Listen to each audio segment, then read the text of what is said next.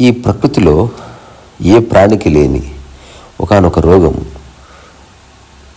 Disappointment మనిషి ఒక్కడే disappoint అవుతూ ఉంటాడు. సో నేను ఒక విషయం చెప్పాలనుకున్నా ఏం జరిగినా డిసప్పాయింట్ కావద్దు. కానీ కావద్దు అనుకున్నంత మాత్రాన కాకుండా ఉండదు మనస్సు.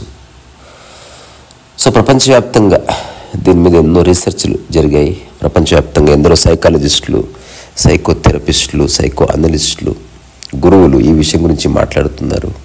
సో మనిషిని మనిషి యొక్క మనస్సుని మూసుకుపోయేలా చేసే ఒకనొక ఫినామినా అండ్ బ్యాడ్ యాటిట్యూడ్ ఏంటంటే డిసప్పాయింట్మెంట్. అసలు డిసప్పాయింట్మెంట్ ఎందుకు వస్తుంది? డిసప్పాయింట్మెంట్కి ఒకవేళ తెలుగులో ఏదైనా అర్థం ఉందంటే ఆశాభంగం. నిరాశ. ఆశాభంగం ఎందుకు వస్తుంది? ఆశ ఉండటం వల్ల ఆశాభంగం అవుతుంది అంతే. సో డిసప్పాయింట్ అవ్వడానికి కారణం కోర్లో ఎక్స్పెక్టేషన్ ఉంది. ఈ ఎక్స్పెక్టేషన్ వల్ల నాట్ ఓన్లీ డిసప్పాయింట్మెంట్ చాలా విషయాలు కలగవచ్చు బట్ తక్షణం నువ్వేదో ఆశించావు ఆశించింది అనుకున్నట్టు జరగలేదు తద్వారా నువ్వు నిరాశపడ్డావు ఆశాభంగం కలిగింది. సో ఎవడు జ్ఞాని అంటే ఆశ లేనివాడు.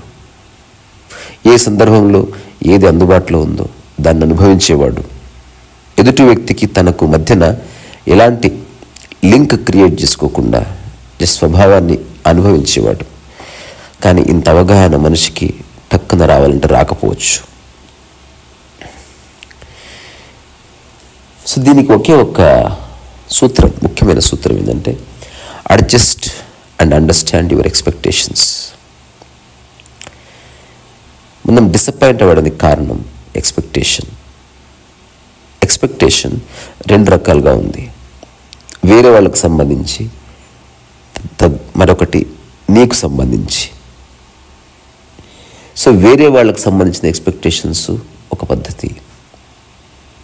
నేను ఇంటికి రాగానే నీళ్ళు ఇవ్వాలి నీ కూతురు లేదా అనుకున్నావు ఎక్స్పెక్ట్ చేసావు టీ ఇవ్వ ఇంటికి వెళ్ళగానే టీ ఇస్తారనుకున్నావు ఎక్స్పెక్ట్ చేసావు టీ ఇచ్చారనుకో కాస్త సంతోషిస్తావు లేదా వాళ్ళు రెగ్యులర్గా ఇస్తుంటే డిస్ పట్టించుకోకుండా ఉంటావు. అట్లా కాకుండా ఎప్పుడైతే వాళ్ళు ప్యాటర్న్ బ్రేక్ చేస్తారో హఠాత్తుగా నువ్వు డిసప్పాయింట్ అవుతావు. So don't get disappointed it means don't expect anything from anybody ఇదొక్కటే సూత్రం. జీవితంలో నిజంగా ఆనందంగా ఉండాలనుకుంటే అట్లాంటి వాళ్ళు మొట్టమొదట వదిలేయాల్సింది. ఎక్స్పెక్టేషన్స్ పోలికలు ఒపీనియన్స్ జడ్జిమెంట్స్ ఎలాగ వదిలేయాలి. బట్ ఎక్స్పెక్టేషన్ ఇస్ సంథింగ్ ఇది మధ్య మధ్యలో వచ్చిపోతూ ఉంటుంది. మనం ఏదన్నా మొబైల్ వాడుతున్నాం సిస్టమ్ వాడుతున్నాం అనుకో బ్యాక్గ్రౌండ్ యాప్స్ ఉంటాయి. ఆ బ్యాక్గ్రౌండ్ యాప్స్ అనేవి పోలికలు ఒపీనియన్స్ అండ్ జడ్జిమెంట్స్ కానీ ఎక్స్పెక్టేషన్ వర్తమానాన్ని డిస్టర్బ్ చేస్తుంది. So don't get disappointed so disappoint అవ్వకూడదంటే first అసలు నీకు ఏం కావాలి? నీకు కావాల్సింది వేరే వాళ్ళ చేతిలో ఉందా? అది నీ చేతిలో ఉందా? ఒకసారి అనలైజ్ చేసుకో. Give some time yourself to reflect నిన్ను నువ్వు గంభీరంగా తీసుకోవడం మానే. నీకు ఒక ప్రత్యేకత ఆపాదించుకోవడం మానేయి ప్రత్యేకత ఆపాదించుకున్నావా? ఏదో ఒక సందర్భంలో ఎవరో ఒకరి వల్ల నీ జీవితంలోకి డిసప్పాయింట్మెంట్ వచ్చి తిష్ట వేసుకుని కూర్చుంటుంది. ఖచ్చితంగా అందులో ఏ సందేహం లేదు. సో నేను నా జీవితంలో నా కుటుంబంలో నా చుట్టుపక్కల కుటుంబాలు చిన్నప్పటి నుంచి నేను చూసిన ఒకనొక డైమెన్షన్ డిసప్పాయింట్మెంట్ ధనికులకు ఉంది అది బీదవాళ్ళకు ఉంది. అందరికీ ఉంది ఎందుకు? నాకు అర్థం కాకపోయేది. నేను కొన్నిసార్లు డిసప్పాయింట్ అయ్యాను. తర్వాత నేను ఎంక్వైరీ చేస్తే తెలిసింది నేను ఎక్కడెక్కడ ఎక్స్పెక్ట్ చేస్తున్నానో అక్కడక్కడ నాకు డిసప్పాయింట్మెంట్ వస్తుంది. ఎక్స్పెక్ట్ చేసిన దానికంటే బాగా జరిగితే ఒక ఓవర్వెల్మింగ్ ఎక్స్పీరియన్స్ వస్తుంది. ఒక భావోద్వేగం ఉంది. దానికి విపరీతంగా జరిగితే వెంటనే disappointment you fall into abysmal so ఏదేమైనా డిసప్పాయింట్మెంట్ అనేది జీవితానికి ఏమాత్రం ఉపయోగపడని ఒక పనికిరాని విషయం. అదొక మందులు లేని రోగం అది. ఎంతకాలం డిసప్పాయింట్ అవుతావు. దానికి ఆన్సర్ ఎంతకాలం ఆశిస్తే అంతకాలం డిసప్పాయింట్ అవి అయి తీరుతావు. అందులో ఏ డౌట్ లేదు. సరే డిసప్పాయింట్ అయ్యావు. ఎక్స్పెక్ట్ చేసావు సమాజంలో ఉన్నాం కుటుంబ వ్యవస్థలో ఉన్నాం కాబట్టి ఎక్స్పెక్ట్ చేయక తప్పదనుకుందాం. ఇప్పుడు నేనున్నాను నాకైతే ఏ ఎక్స్పెక్టేషన్స్ లేవు. అందుకని ఎప్పుడు డిసప్పాయింట్ అవ్వన్నది వేరే సంగతి. కానీ ఇన్ జనరల్ ఎక్స్పెక్టేషన్స్ ఉన్నాయి డిసప్పాయింట్ అయ్యావు. మరి డిసప్పాయింట్ అయిన తర్వాత దానికి మార్గం ఏదైనా ఉందా? ఆ ఉంది. బేసికల్లీ అదొక నెగిటివ్ ఎమోషన్ అని గుర్తించు. రెండవది ఎక్కువసేపు డిసప్పాయింట్మెంట్ని కాలంలో నిలబడనీయకుండా చూసుకో. ఎవరో ఏదో చేస్తారని అనుకున్నావు నీ ఇంటికి ఎవరో వస్తే భోజనం పెట్టావు. నువ్వు ఒక మధ్యాహ్నం పూట వాళ్ళ ఇంటికి వెళ్తే వాళ్ళు భోజనం అరేంజ్ చేయలేదు. అసలు ఆ విషయం మాట్లాడలేదు. నువ్వు ఘోరంగా డిసప్పాయింట్ అయ్యావు. ఇప్పుడు నువ్వు చేయవలసిందల్లా ఆ డిసప్పాయింట్మెంట్ని అనుభవించు. కానీ ఒక థర్టీ సెకండ్స్ వన్ మినిట్లో బయటకు వచ్చేసి ఇదన్నిటికీ వర్తిస్తుంది. కాలంలో మనం ఒక విషయాన్ని ఎక్కువసేపు నిలిపి ఉంచితే అది రకరకాల రూపాలు తీసుకుంటుంది. డిసప్పాయింట్మెంట్ కాస్త ఒక డిజార్డర్ అవ్వచ్చు డిసప్పాయింట్మెంట్ కాస్త డిప్రెషన్ అవ్వచ్చు డిప్ డిసప్పాయింట్మెంట్ ఒక రిప్రెషన్ అవ్వచ్చు. అలాగే డిపస్ డిసప్పాయింట్మెంట్ ఒక సిజోఫ్రేనియా అవ్వచ్చు. It could be transformed to any different kinds of you know disorders అందుకని ఎక్కువసేపు లింగర్ అవ్వకు అంటే దాన్నే పట్టుకొని వెళ్ళాడకు. బికాస్ నీవు దాన్ని హోల్డ్ చేయకుండా డిసప్పాయింట్మెంట్ ఎక్కువ ఉండదు. థాట్ యొక్క ఒకనొక టెండెన్సీ. నువ్వు పట్టుకుంటేనే ఎక్కువసేపు ఉంటుంది. ఎగ్జాంపుల్ పతంగ ఎగిరేస్తున్నావు. దారం పట్టుకున్నంతసేపు పతంగ ఉంటుంది. పతంగ మీద డిసప్పాయింట్మెంట్ రాసావు అనుకో పతంగి దారాన్ని ఎక్కువసేపు పట్టుకుంటే ఆ డిసప్పాయింట్మెంట్ అక్కడక్కడే తిరుగుతూ ఉంటుంది. నీకు ఆ పతంగికి ఆ కైట్కు ఉన్న లెంత్ ఎప్పుడు సేమ్ ఉంటుంది. అవసరం అది మనకు.